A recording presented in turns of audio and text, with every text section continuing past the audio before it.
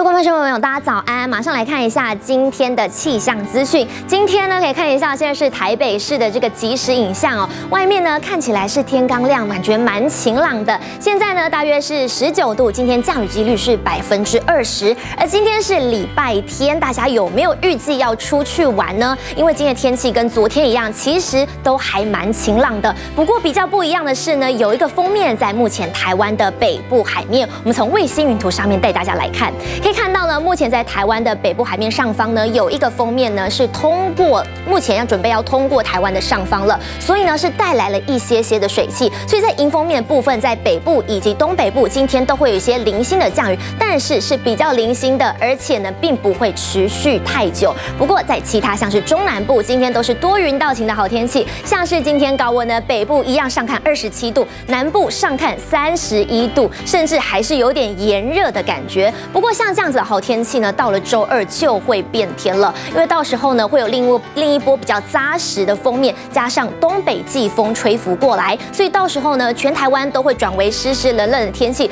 所以提醒大家，好天气就到周一之前，到周二就会开始变天。不过先来看一下今天哪里会来下雨呢？再看一下我们的定量降水预报，可以看到今天上半天呢，主要就是刚刚讲到的迎风面嘛，包括是北呃东北部这个北海岸的部分，今天雨会特别明显一点。到了到了晚上呢，雨是一样没有比较没有停，不过都还是局部在这个东半部地区、西半部地区呢，今天比较干燥，今天水汽比较少。不过这个雨到了明天周一入夜之后就会变得更明显，而且一下就下到周三。我们从这个北部一周的这个气温来看，可以看到呢，到了明天呢，气温跟今天一样，高温一样上看二十九度，但是到了这个周二，突然像溜滑梯一样，高温只有二十度，低温只有十五度。因为呢，到时候呢，有一波比较扎实的封面，再加上东北季风，而且这个封面呢非常的扎实，可能会伴随着雷雨发生，所以周二、周三都会下雨。这个封面要到周三之后才会离开台湾，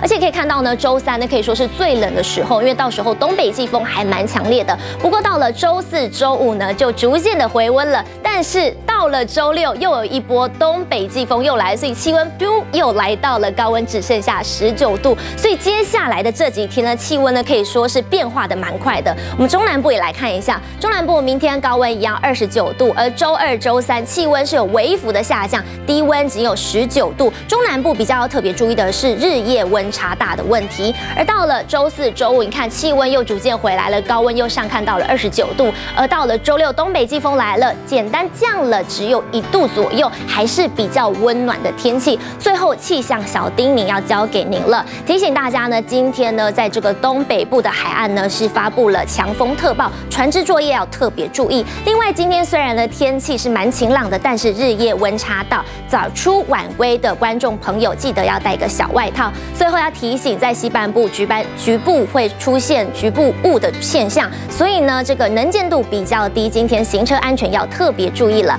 以上气象资讯提供给您。